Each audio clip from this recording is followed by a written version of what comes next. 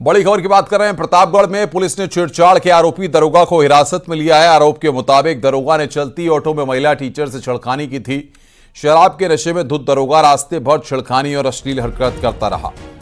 पीड़ित महिला की शिकायत पर आरोपी दरोगा पर लालगंज कोतवाली में छिड़खानी समेत संगीन धाराओं में केस दर्ज किया गया है। पुलिस ने आरोपी दरोगा को हिरासत में लेकर मेडिकल कराया। मेडिकल में शराब पीने की पुष्टि हुई है। इस बीच एसपी ने दरोगा राम कंवल पर एक्शन लेते हुए सस्पेंड कर दिया है। आरोपी दरोगा राम कंवल नवाबगंज थाने में तैनात है। और बातचीत करने के लिए रोहित सिंह हमारे संवाददाता प्रतापगढ़ से हमारे साथ फ़ोन लाइन पर जुड़े हैं। रोहित, कब की यह घटना और क्या निकलकर अब तक सामने आया है?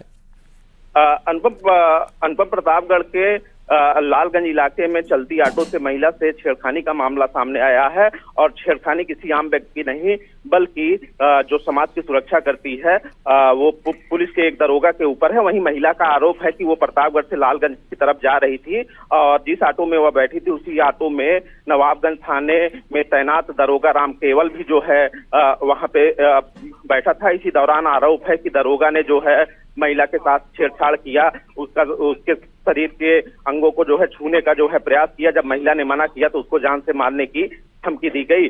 हालाँकि बताया जा रहा है कि जो दरोगा है, वो नशे में पूरी तरीके से धुत था। महिला तत्काल जो है ऑटो से उतर के लालगंज कोतवाली पहुँची और दरोगा की शिकायत थाने में दिया, जिसके बाद एसपी से भी मामले की शिकायत की गई। जैसे ही एसपी को इस मामले की भनक लगी एसपी तत्काल कड़ा एक्शन लेते हुए दरोगा के खिलाफ महिला की तहरीर पर मुकदमा दर्ज करवाया, जिसके बाद दरोगा राम केवल को हिरासत में लेके उसके मेडिकल कराया गया। मेडिकल में शराब पीने की पुष्टि हुई है और छेड़खानी की वारदात से प्रतापगढ़ में हड़कम मचा हुआ है। रोहित बहुत बहुत शुक्रिया आपका हमारे साथ जुड़ने के लिए और बातचीत करने के लिए।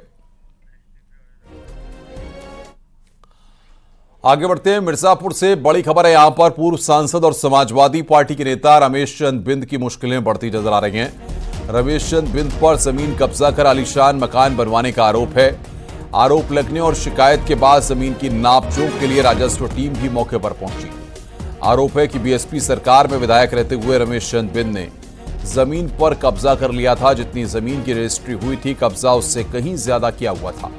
इसकी शिकायत डिप्टी सीएम केशव प्रसाद मौर्य से भी की गई थी। आरोप है कि ज़मीन पर एक हॉस्पिटल और ट्रामा सेंटर भी बना हुआ है। और बातचीत करने के लिए सुमित हमारे संवाददाता हमारे साथ फ़ोन लाइन पर जुड़ रहे हैं। सुमित, क्या ये पूरा मामला है? और फ़िलहाल अब प्रशासन के द्वारा क्या कार्रवाई की जा रही है? जी, बिल्कुल बताते हैं कि ये पूर्व सांसद हैं और सपा के नेता है रमेश चंद बिंद। जो बीएसपी के सरकार में जमीनों को लेकर के हमेशा विवादित में रहे हैं। कई जमीनों पे इन पे अवैध कब्जा करने का या जितने ज़मीन ये रजिस्ट्री कराते थे, उससे कहीं ज़्यादा अगल बगल के ज़मीन को कब्जा करने का इन पे आरोप लगता था।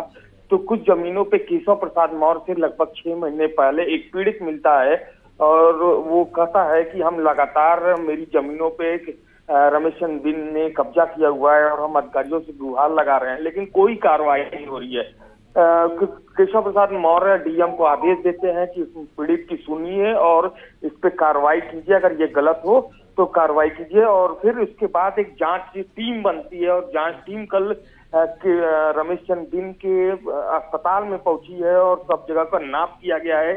रमेश चंद बिन से कागज़ मांगा गया है कि आपने कितनी ज़मीन रजिस्ट्री कराई है। कितने स्क्वायर फीट का है, कितना नक्शा बनवाया गया है।